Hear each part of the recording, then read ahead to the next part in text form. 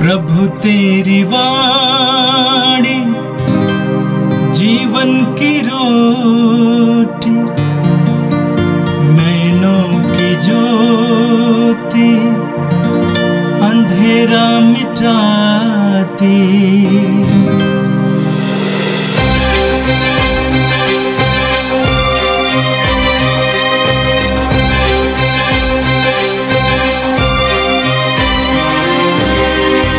तेरी वाणी, जीवन की रोटी, नैनों की ज्योति, अंधेरा मिटाती। प्रभु तेरी वाणी, जीवन की रोटी, नैनों की ज्योति, अंधेरा मिटाती। वाणी वाणी वाणी वाणी वाणी। पवित्र है, शाश्वत है जीवन का पंद्रह दिसंबर, शुक्रवार। पहला पाठ, नबी ईसायस का ग्रंथ। अध्याय 48 वचन संख्याएँ 17 से 19 तक। यदि तुमने मेरी आज्ञाओं का पालन किया होता, प्रभु इसराइल का परम पावन ईश्वर, तुम्हारा उद्धारक, प्रभु इसराइल का परम पावन ईश्वर तुम्हारा उद्धारक यह कहता है, मैं प्रभु तुम्हारा ईश्वर हूँ। मैं तुम्हें कल्याण की बातें बतलाता हूँ और मार्ग में तुम्हारा पथ प्रदर्शन करता हूँ।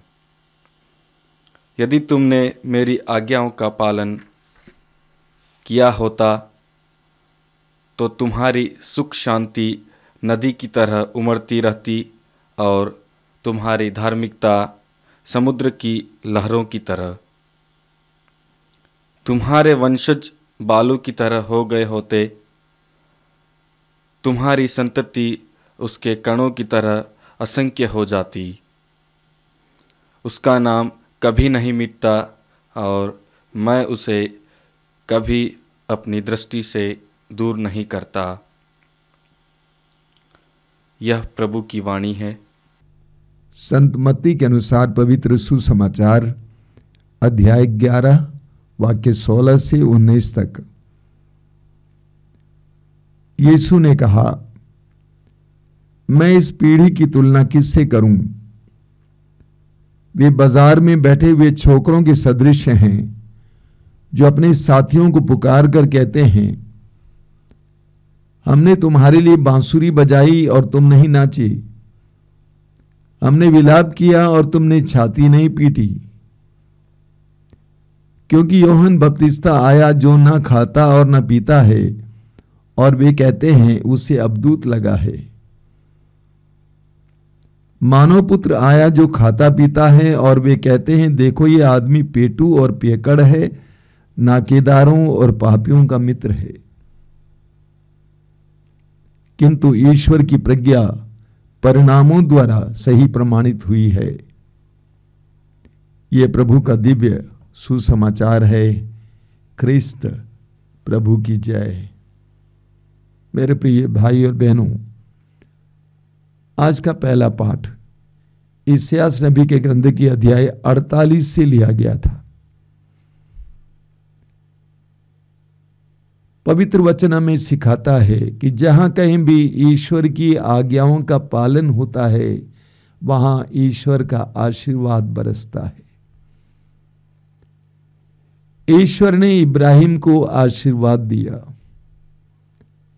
हम उत्पत्ति ग्रंथ के अध्याय 22 में पढ़ेंगे, ईश्वर ने इब्राहिम से कहा, अपने एकमात्र पुत्र इसहाक, जिसको तुम बहुत प्यार करते हो मोरिया प्रदेश ले आओ और जो पहाड़ी में दिखाऊँगा उस पर उसकी बलि चढ़ाओ। इब्राहिम तैयार हो जाता है। अपने बेटे की बलि चाहने के लिए तैयार होता है, अपने जेब से छुरा उठाता है। आवाज़ आती है, इब्राहिम, तुमने वो करके दिखाया। तुमने अपने इकलौते पुत्र को भी मुझे देने से इनकार नहीं किया। मेरी आज्ञा का पालन किया, इसलिए मैं शपथ खाकर कहता हूँ, मैं तुम पर आशीर्वाद बरसाता रहूँगा। पूरी बाइबल में हम पढ़ते हैं, जहाँ कहीं भी प्रभु के आदेशों का पालन होता है, वहाँ पर प्रभु की आशीष बरसती है। ठीक इसके विपरीत पवित्र बाइबल में हम ये भी पढ़ते हैं कि जहाँ पर प्रभु के आदेशों का उल्लंघन होता है, वहाँ पर विपत्तियाँ, पीड़ाएँ, दुख आ जाते हैं। उत्पत्ति ग्रंथ के अध्याय तीन में से आदम और हेवा के पाप के बारे में सुनिए। उसके बाद उनके जीवन में क्या होता है? योना नबी के ग्रंथ में देखिए, योना नबी ने प्रभु की आज्ञा का उल्लंघन किया, उनके जीवन में क्या हुआ? सामुअल के ग्रंथ के पहले ग्रंथ के अध्याय पंद्रह को पढ़िए, राजा साउल ने प्रभु की आज्ञा का उल्लंघन किया, उसके जीवन में क्या हुआ? तो आज्ञाओं का उल्लंघन, विपत्ति, दुख, पीड़ाएँ लाता है। मती के सुसमाचार के अध्याय सात वाक्य इक्कीस में प्रभु यीशु कहते हैं। वे सबके सब जो प्रभु प्रभु कहते हैं, इस स्वर्गीय के राज में प्रवेश नहीं करेंगे। लेकिन केवल वे ही जो मेरे स्वर्गीय पिता की इच्छा पूरी करते हैं। मत्ती के सुसमाचार के अध्याय पाँच वाक्य उन्नीस में प्रभु यीशु कहते हैं जो मेरी इन आज्ञाओं में से छोटी सी छोटी आज्ञाओं में से किसी का भी पालन करता है, उसका पालन करने को सिखाता है, वो स्वर्ग राज्य में बड़ा माना जाएगा। इसी दिशा में आज का पहला पाठ है। प्रभु कहते हैं, प्रभु इसराइल का परम पावन ईश्वर, उद्धारक ये कहता है, मैं प्रभु तुम्हारा ईश्वर, मैं तुम्हें कल्याण की बातें बतलाता हूँ और मार्ग में तुम्हारा पथ दर्शन करता हूँ। यदि तुमने मेरी आज्ञाओं का पालन किया होता तो तुम्हारी सुख शांति नदी की तरह उमड़ती रहती और तुम्हारी धार्मिकता समुद्र की लहरों की तरह। प्रभु इसराइलियों से कहते हैं, यदि तुमने मेरी आज्ञाओं का पालन किया होता तो तुम्हारी सुख शांति नदी की तरह उमड़ती रहती और तुम्हारी धार्मिकता समुद्र की लहरों की तरह। तुम्हारे वंशज बालू की तरह हो गए होते तुम्हारी संतति उसके कणों की तरह असंख्य हो जाती। उसका नाम कभी नहीं मिटता और मैं उसे कभी अपनी दृष्टि से दूर नहीं करता। लेकिन तुमने मेरी आज्ञाओं का पालन नहीं किया। हमें सूक्ति ग्रंथ के अध्याय तीन में पढ़ने को मिलता है। सूक्ति ग्रंथ उसके अध्याय तीन में वाक्य एक और दो में वचन में लिखा हुआ है। प्रभु कहते हैं, पुत्र, मेरी शिक्षा को मत बुलाओ। मेरी शिक्षा को मत भुलाओ, मेरी आज्ञाओं को अपने हृदय में संजोए रखो, क्योंकि वे तुम्हें लंबी आयु और बड़ी शांति प्रदान करेगी। प्रभु की आज्ञाओं का पालन हमें लंबी आयु और बड़ी शांति प्रदान करता है। राजाओं के दूसरे ग्रंथ के अध्याय 18 में हमें राजा हैजकिया के बारे में पढ़ने को मिलता है, वाक्य छह और सात में। वह प्रभु से संयुक्त रहा। और कभी उससे विमुख नहीं हो गया। वह मूसा की, को दी हुई प्रभु की आज्ञाओं का पालन करता था। प्रभु उसके साथ रहा। वह अपने सब कामों में सफल हुआ। राजा हैजकिया प्रभु की आज्ञाओं का पालन करता था। इसीलिए प्रभु उसके साथ रहा और सब कामों में सफल हुआ। आज के पहले पाठ के द्वारा प्रभु हमें एक बहुत सशक्त संदेश देते हैं। प्रभु की आज्ञाएँ हमारे कल्याण के लिए हैं। प्रभु की आज्ञाएँ हमारे कल्याण के लिए हैं। यरमियस ने भी अध्याय उनतीस वाक्य ग्यारह में प्रभु कहते हैं, तुम्हारे लिए निर्धारित योजनाएँ मैं जानता हूँ। तुम्हारे हित की योजनाएँ, तुम्हारे लिए आशामय भविष्य की योजनाएँ। हमें इस दृष्टिकोण से प्रभु के आदेशों, प्रभु की आज्ञाओं को देखने की आवश्यकता है। जिस तरह एक प्रेमी पिता अपने बच्चों के लिए सोचता है, उसी तरह ईश्वर हमारे लिए सोचता है।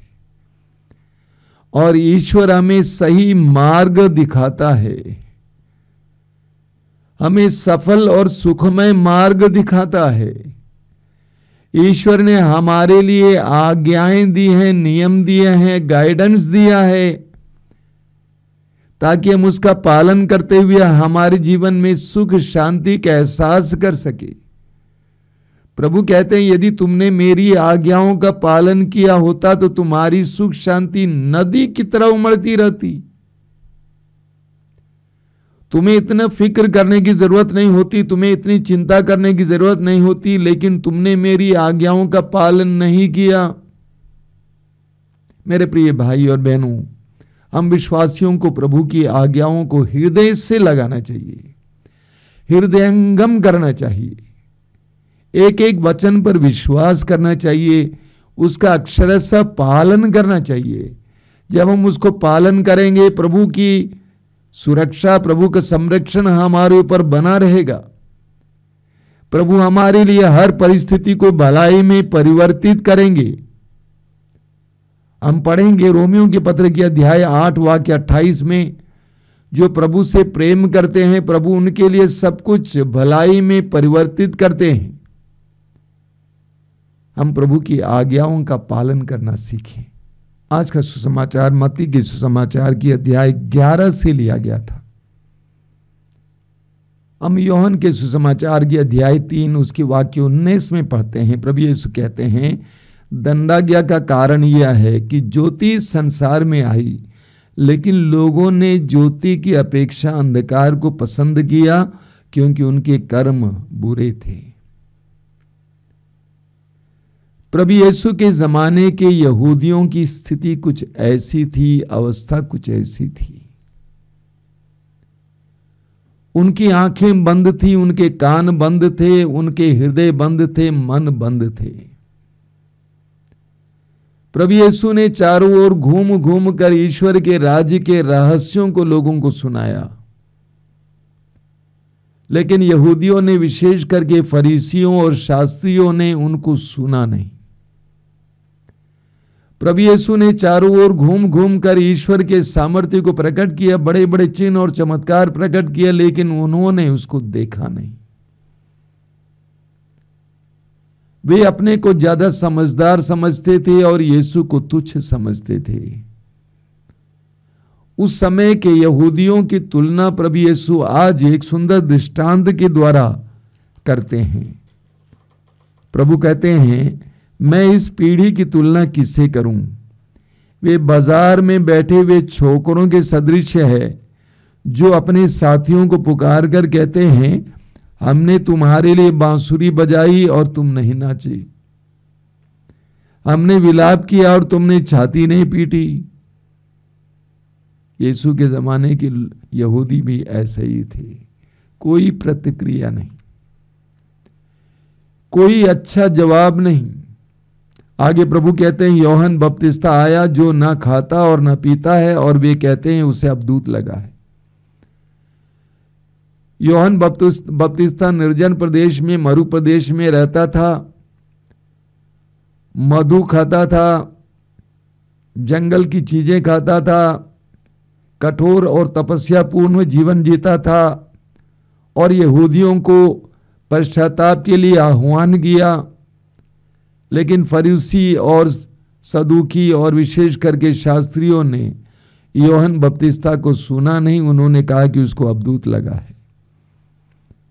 आगे प्रभु कहते हैं मानव पुत्र आया, यीशु आए, जो खाता पीता है, और वे कहते हैं, देखो, ये आदमी पेटू और पेकड़ है नाकेदारों और पापियों का मित्र है। योहन बपतिस्ता आया, उसके बाद यीशु आए लेकिन उनके अंदर कोई जवाब नहीं था, कोई प्रतिक्रिया नहीं थी। वे सोचते थे कि हम जानते हैं, नियम जानते हैं, ईश्वर के बारे में जानते हैं, और इसीलिए यीशु और यौन बपतिस्ता को कोई अच्छा जवाब देने में भी तत्पर नहीं थे। साधारण लोगों ने योहन बपतिस्ता के वचनों को स्वीकार किया और अपने पापों के लिए पश्चाताप किया। साधारण लोगों ने यीशु में ईश्वर को पहचाना और ईश्वर को धन्यवाद दिया, ईश्वर की स्तुति की और प्रभु यीशु के वचनों को सुना। अंत में प्रभु यीशु कहते हैं, किंतु ईश्वर की प्रज्ञा परिणामों द्वारा सही प्रमाणित हुई है। फरीसी और शास्त्री ये सोचते थे कि हम जानने वाले, हम जानते हैं। ये क्या जानता, ये तो बड़ा ही है। हम तो धर्म के ज्ञाता हैं। हम धार्मिक नियमों को जानते हैं, हमारे धर्म के इतिहास को जानते हैं, हम ज्ञानी हैं, लेकिन प्रभु कहते हैं, सच्चा ज्ञान जीवन के द्वारा प्रमाणित होता है। सच्चा ज्ञान जीवन के द्वारा प्रमाणित होता है, और यहूदियों से प्रभु कहते हैं कि तुम सोचते हो कि तुम ज्ञानी हो, लेकिन तुम्हारा जीवन ऐसा प्रकट होता है, मानो तुम अज्ञानी हो। मेरे प्रिय भाई और बहनों, आज के सुसमाचार के द्वारा प्रभु यीशु हम सबका आह्वान करते हैं। आह्वान करते हैं कि हम प्रभु को सुने, प्रभु को देखें, प्रभु को पहचाने और प्रभु के मार्ग पर चलना सीखें। हम प्रभु को जवाब दें एक एक वचन के द्वारा प्रभु हमारे करीब आते हैं। एक एक वचन के द्वारा प्रभु हमारे हृदय पर दस्तक देते हैं। खटखटाते हैं। बोलते हैं, मेरे लिए द्वार खोल दो। हम यहूदियों की तरह ना बने। बल्कि हम सुने, देखें, यीशु को पहचाने, अपने जीवन में यीशु के लिए स्थान दें। आइए हम प्रार्थना करें। प्रभु यीशु धन्यवाद देते हैं आज के सुंदर दिन के लिए। जीवन के वरदान के लिए धन्यवाद देते हैं। धन्यवाद देते हैं तेरे पवित्र वचनों के लिए। एक एक वचन के द्वारा तू हमारे हृदयों पर अपनी आज्ञाओं को, अपने नियमों को अंकित कर रहा है। एक एक वचन के द्वारा तू हमारा आह्वान करता है।